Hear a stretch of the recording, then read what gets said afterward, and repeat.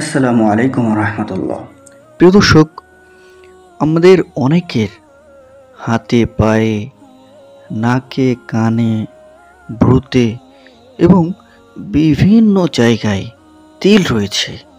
আসলে তিল কোথায় থাকলে মানুষের কি হয়, এ সম্পর্কে উপমহাদেশের পণ্ডিতরা বিভিন্ন গবেষণা ও তথ্য করে বলেন। কোনো ব্যক্তির শরীরে বারোটির বেশি তিল হওয়া শুভ মনে করা হয় না।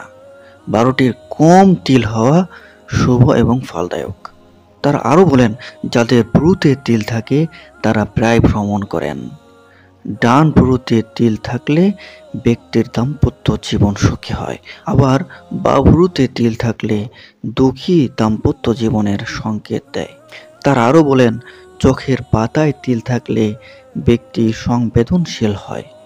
তবে যাদের ডান পাতায় তিল থাকে, তারা বা পাতায় তিলযুক্ত লোকের তুলনায় বেশি সংবেদনশীল হয়। প্রিয় দর্শক, তারা বলে, যে ব্যক্তির ডান বাহুতে তিল থাকে, তারা প্রতিষ্ঠিত ও বুদ্ধিমান হয়। আর বা বাহুতে তিল থাকলে ব্যক্তি ঝগড়াটে স্বভাবের হন। তার আরও বলেন, যে ব্যক্তির কনিষ্ঠ আঙ্গুলে তিল রয়েছে, তারা ধনী হলেও জীবনে অনেক দুঃখ কষ্ট সহ্য করতে হয়। যার অনামিকায় তিল থাকে, তারা জ্ঞানী এবং ধনী হন। তারা বলে, যার পায়ে তিল রয়েছে, তারা অনেক ভ্রমণ করেন। যে ব্যক্তির পেটে তিল আছে, তারা খুব খাদ্যরসিক হয়। মিষ্টি তাদের অত্যন্ত প্রিয়।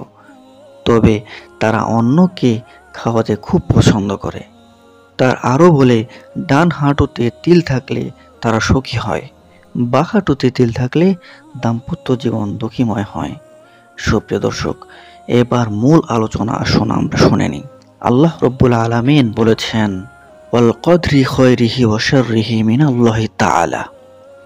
তোমার ভালো মন্দ যা কিছু হয়, এই সমস্ত কিছুই আল্লাহ তালার পক্ষ থেকেই হয়।